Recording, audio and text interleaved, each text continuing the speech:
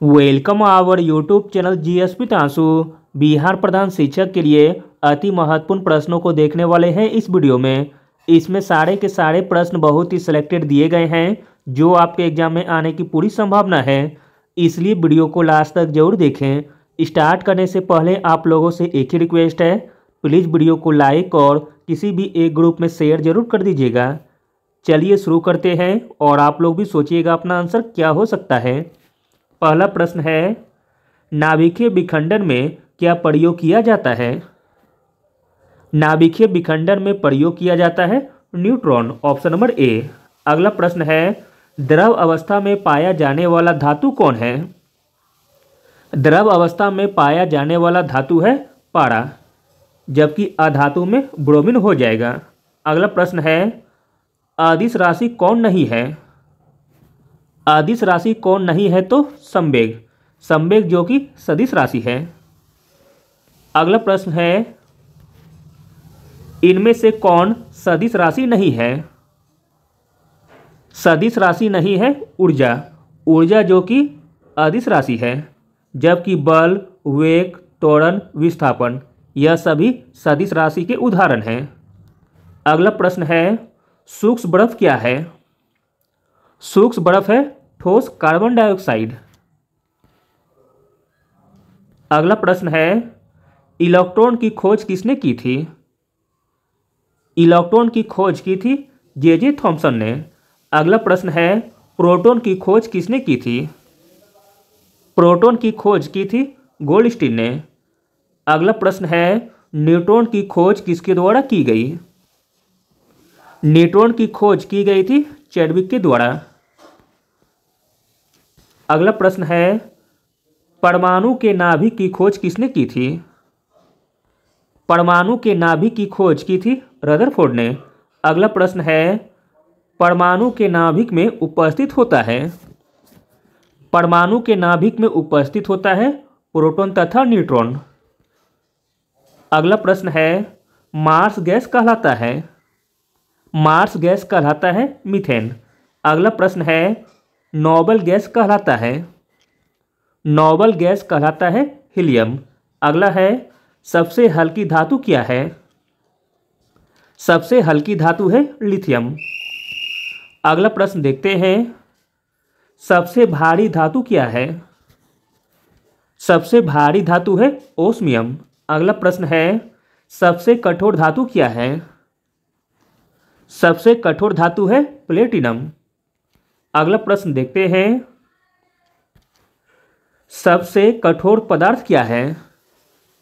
सबसे कठोर पदार्थ होता है हीरा। अगला प्रश्न है, सबसे अधिक प्रत्यात धातु कौन है? इंपॉर्टेंट प्रश्न है। सबसे अधिक प्रत्याश धातु है स्टील।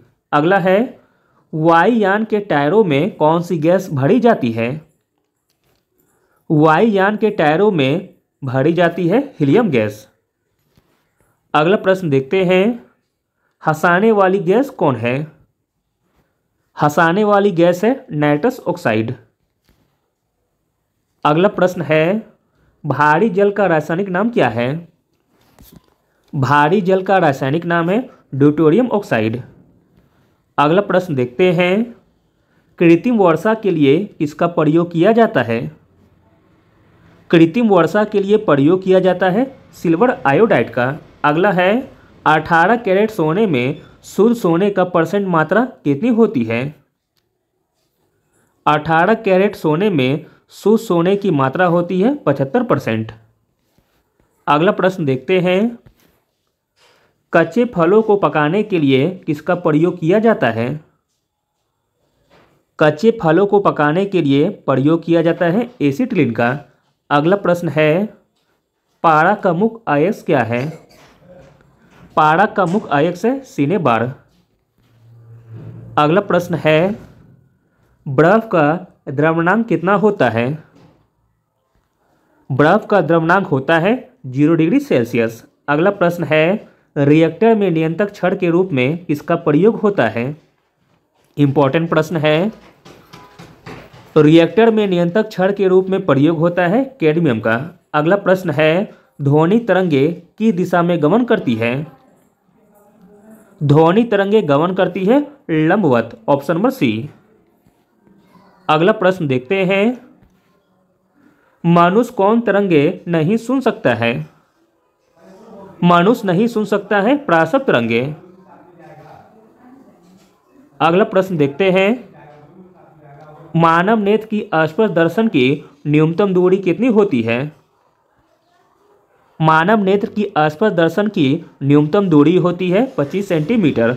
अगला प्रश्न है, गोबर गैस से प्राप्त होने वाली गैस क्या है? गोबर गैस से प्राप्त होने वाली गैस है मीथेन।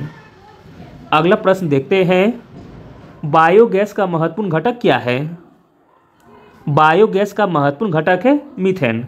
अगला है सोडा वाटर बनाने के लिए इसका प्रयोग किया जाता है। इंपॉर्टेंट प्रश्न है। सोडा वाटर बनाने के लिए प्रयोग किया जाता है CO2 का। अगला प्रश्न है, लोहे का सबसे शुद्धतम रूप कौन सा है? लोहे का सबसे शुद्धतम रूप है पिटवा लोहा, ऑप्शन नंबर ए अगला प्रश्न है, बेवकूफ़ों का सोना किसे कहा जाता है? बेवकूफ़ों का सोना कहा जाता है? आयरन पायरेट्स को। अगला प्रश्न है एलपीजी के गंध को पहचानने के लिए उसमें क्या मिलाया जाता है? एलपीजी के गंध को पहचानने के लिए उसमें मिलाया जाता है मिथाइल मरकेप्टेन। अगला प्रश्न है, सबसे हल्का तत्व है। सबसे हल्का तत्व है हाइड्रोजन। अगला प्रश्न देखते हैं, लोहे की मात्रा सर्वाधिक किसमें पाई जाती है?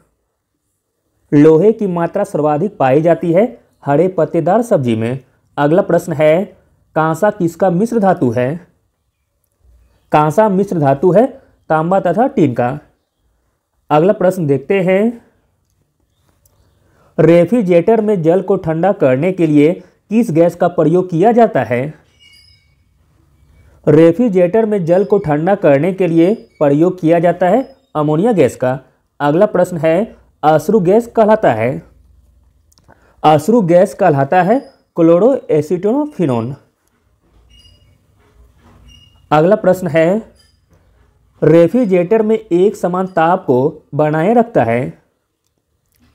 रेफ्रिजरेटर में एक समान ताप को बनाए रखता है थर्मोस्टेट। अगला अंतिम प्रश्न है, अंडे का आवरण किसका बना होता है? अंडे का आवरण बना होता है कैल्शियम कार्बोनेट का।